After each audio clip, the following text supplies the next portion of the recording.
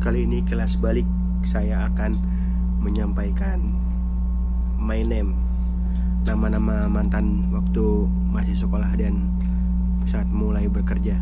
Kita bahas dulu dari hmm, cinta-cinta monyet. Yang pertama dari TK ya TK itu kan masih anak-anak. Tapi masa di masa itu ada satu cewek yang namanya Nurul. Ya tetanggaan dekat rumah Nurul di SD itu ada namanya Nuri.